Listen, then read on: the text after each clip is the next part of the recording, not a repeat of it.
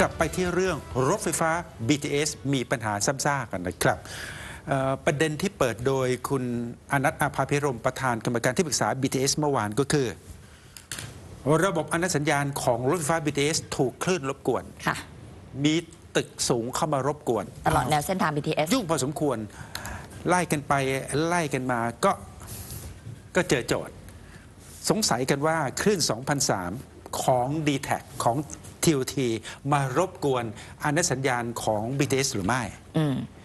แต่ d t แทเมื่อสักครู่ยืนยันไม่เกี่ยว คลื่นความถี่วิทยุที่ใช้ในระบบอนุสัญญาณของ BTS ก็คือ 2004 2004 2004ซึ่งเป็นอันไลเซนอืม2003 ไม่มีโอกาสในทางเทคนิคที่จะไปรบกวน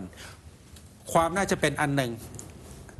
2004 รบกวนกันเอง ค่ะ เพราะผู้ใช้ 2004 มันเยอะเหลือเกิน เพราะมันใช่อันไลอันเซนไลเส้นใครก็ใช้ได้ เพราะไปฉะนั้นกันที่ คุณสุรพงษ์รอหาอัญญานะคะ กรรมการผู้อำนวยการใหญ่บมจ BTS นะคะ สวัสดีค่ะ สวัสดีครับคุณสุรพงษ์สวัฮะ สดีครับคุณนายคุณอมรรัตน์ครับสวัสดีคครัรับบสวัสดีท่านผู้ชมครับ เอ่อผมค่ะ ทราบว่าแต่ฝ่ายเทคนิค ฝ่ายวิศวกรรมของทั้ง BTS และ d t แท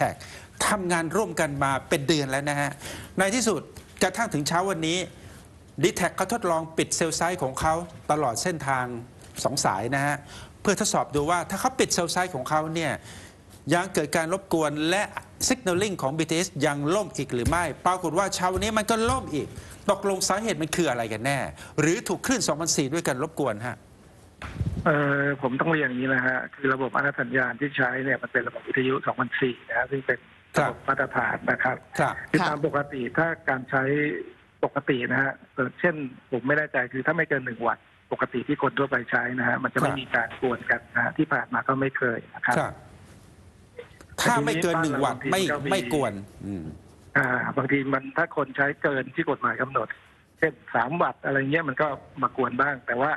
กวนก็ไม่มากเหมือนเหมือนครั้งนี้นะครับ ครับอืมเอาดีครับ คือกวนแต่ว่าด้วยระบบความปลอดภัยของรถไฟฟ้าเนี่ย พอมีสัญญาณกวนปั๊บเขาจะเบรกนะฮะหรือเขาจะ คือเราจะต้องวิ่งช้าลงนะฮะอย่างที่เป็นอยู่ตั้งแต่เมื่อวานนะฮะครับ อ๋อตอนอืมตอนนี้ที่เราได้รับการกวนมากที่สุดคือตรงบริเวณสถานีสยามนะครับตรงไหนเพราะฉะนะนั้นรถที่จะวิ่งผ่านสยาม จะวิ่งช้านะครับค่ะ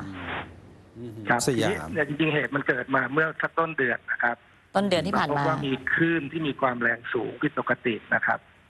เข้ามากวนระบบนะครับ ครับ เราก็พยายามหานะครับครั ก็บท้ายสุดก็อาจจะไม่ใช่ดีแท็กก็ได้นะครับ แต่ตอนนี้เราทำงานร่วมกับเขาอย่างใกล้ชิดนะครับเขาก็คือเริ่มปิดให้เมื่อเย็นวานนะครับ ครับพอตอนเย็นปิดปุ๊บมันก็หายไปนะครับอืมค่ะแล้วเมื่อเช้านี้ก็เขาเริ่มปิดให้ประมาณหกโมงเศษๆนะฮะครับพอเราวิ่งไปสองขบวนแรกก็จะเจอนะฮะพอหลังจากเขาปิดปุ๊บก็หายนะครับอ๋อเหรอฮะแต่เมื่อสักครู่นี้ตอนใกล้ๆแปดโมงมันโผล่ขึ้นมานะครับค่ะซึ่งเราก็จับสัญญาณได้ก็เป็นสัญญาณที่สองพันสามร้อย เจ็ดสิบนะฮะโดยประมาณนะฮะอ๋อสองพันก็เดี๋ยวดีแท็กกำลังเข้าเข้าไปที่พื้นที่นะครับไปตรวจนะครับรวมหมายกันความแล้วก็ว่า เข้าใจว่าเดี๋ยวทางกสกสทชจะเข้ามาด้วยนะโอครับ เค หมายความว่าใกล้ ๆ 8 โมงเช้าวันนี้เราเจอสัญญาณที่รบกวนแล้ว เป็นคลื่น 2,370 แล้วฮะอ่าอ่าอันนี้อันนี้ตัวเลขไม่ไม่ไม่แน่ใจคือมีคลื่นมารบกวนกันแล้วกันนะครับ อะอ๋อตรวจฮะเจอแต่ตรวจเจอแล้วกำลังไปสอบจะตรวจสอบอ่า อาจจะเป็นของใครก็เราไม่ทราบนะฮะแต่ทางดีแท็กกำลังเข้าไปตรวจสอบให้เราอยู่นะครับ ก็จะมี d t แทมี B เอ่อมี BTS แล้วก็ตัวแทนกสทช ก็จะร่วมกันเข้าไปตรวจสอบด้วย ครับผมครับผมจุดกำเนิดของคลื่นรบกวน คือในสยามพารากอนเองหรือเปล่า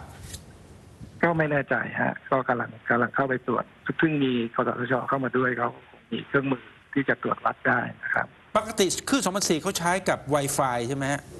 ครับ คือถ้าใช้ความแรงไม่สูง ใช้ความแรงตามปกติเนี่ยมันก็จะไม่กวนกันครับ มันก็มีแต่ว่าความน่าจะเป็นว่ามีใครแอบใช้คลื่น2004 กับระบบ Wi-Fi ของอาคารใหญ่ๆแล้วก็ใช้เกินหนึ่งวัตต์ครับครับครับแล้วใช้เกินหนึ่งวัตต์ปัญหาที่เกิดมันเจอเฉพาะที่สถาสถานีนีสสยายามมที่เดียวปะคะที่เดียวเลยนะฮะอ่าตอนนี้ที่หนักที่สุดคือที่สยามครับสีลมก็เป็นจริงๆก่บ้าองนหน้านี้ก็เจอเมื่อสักตอนช่วงแรกๆเจอที่ตรงแถวเอ็มโพเรียมนะฮะแต่ที่สถานีพร้อมโป่งนะฮะอ๋อ เอ็มโพเรียมพร้อมพงษ์แล้วก็สถานีสยาม อ่าก็ได้คุยกับทางดีแท็กค่ะ อ๋อ ตอนนั้นทางดีแท็กก็ได้มีการปรับแก้นะฮะก็ก็ก็หายไปนะครับอ๋อฮะตั้งข้อสังเกตเลยนะฮะว่าสถานีรถไฟฟ้า BTS เนี่ยสถานีที่ถูกคลื่นรบกวนเยอะๆเนี่ยจะเป็นสถานีในย่านธุรกิจใจกลางธุรกิจอย่างเช่นสยาม ก็อาจจะพร้อมมีโปคร่นง ใช้ Wi-Fi ตรงนั้นเยอะหรืออาจสีจะลม ใช้มือถือเยอะนะครับ การที่ใช้เยอะปุ๊บมันก็อ่าเขาก็ต้องเพิ่ม ความแรงขึ้นนะครับ แต่มือถือถ้าเขาถ้าเขาไม่ได้ใช้ 2004 ก็แล้วกันไป แต่ 2004 มักจะใช้กับ Wi-Fi Wi-Fi แสดงว่าต้องมีใครแอบอัด Wi-Fi ด้วยขึ้นแรงระดับขึ้น ความถี่ที่เกิน 1 วัตต์เนี่ยเช่นคนใช้เยอะแล้วก็เพิ่ม ก็อาจจะเป็นไปได้ครับ อืม อืม แต่ทีนี้น่าอย่างนี้หวาดเสียวครับเรียนอย่างนี้จริงๆ BTS ก็ไม่ได้นิ่งนอนใจนะฮะ อ่าฮะ ค่ะค่ะเรามีการอืมปรับปรุงระบบไอ้ครัวิบทยุของระบบและสัญญาณมาตั้งแต่เกือบครับเป็นปีแล้วนะฮะครับอืมเราเปลี่ยนเรากำลังเปลี่ยนตัวระบบวิทยุที่มันจะดีขึ้นกว่าเดิมนะฮะคือเสถียรขึ้น คือหมายความว่าคือเมื่อก่อนมันมาจากเทคนิคนิดหนึ่งวิทยุค่ะเดิมเนี่ยมันมันมันลูกคลื่นมันจะอ้วนๆหน่อยค่ะครับมันมันคือมันไปได้ไกลแต่มันถูกกระทบกระเทือนได้ง่ายนะฮะค่ะตอนนี้เราเปลี่ยนเป็นวิทยุรุ่นรุ่นใหม่กว่านะฮะครับมันมีลูกคลื่นที่แหลมนะฮะครับแหลมเพราะฉะนั้นมันจะจับเฉพาะคลื่นความถี่ที่เราใช้นะฮะ